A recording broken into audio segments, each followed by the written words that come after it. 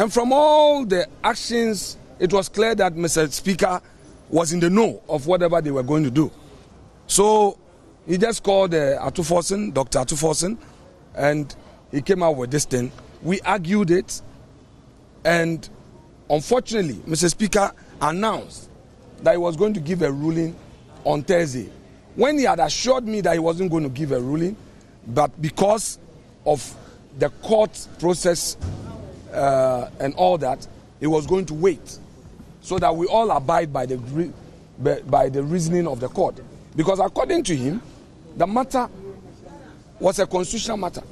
So for me, it was a big surprise that Mr. Speaker would go out of his way to make a ruling, which immediately made the NDC proclaim themselves to be majority. Although he himself continued to address me as a majority leader. Fast forward, we came to court, the court intervened, and now the new argument of Mr. Speaker was that he didn't give a ruling. He only gave an opinion. He expressed a view on the matter. He met us on Tuesday, the 22nd of October, at a pre-sitting meeting. And at the pre-sitting meeting, I told Mr. Speaker that, well, you are saying you have received the court process and that you have not declared the NDC the majority. Now that they are sitting on our seat, what are you going to do, Mr. Speaker? Mr. Speaker told me that that is the responsibility uh, of the clerk. He later repeated the same thing to the Council of State and the Peace Council. The clerk to Parliament made sure that he had arranged our seat, the majority caucus, our seat, on at where we are supposed to sit, the right of Mr. Speaker. Place our name tags there.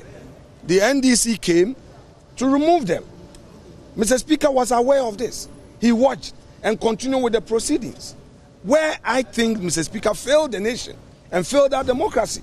And I do so with utmost respect. Some of the NDC guys are trying to suggest that my ex, me ex, expressing my view on his conduct amount to disrespect. Let me say it clear that I will be the last person, I repeat, I, Kwamena Afenyo Markin, will be the last person to disrespect Mr. Speaker. But Mr. Speaker should not think that he's a king. He's an emperor.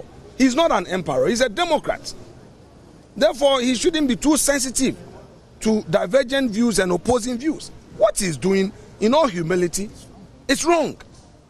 So, my friends in the NDC should open their eyes and ask themselves if they were the ones at the receiving end, how would they react?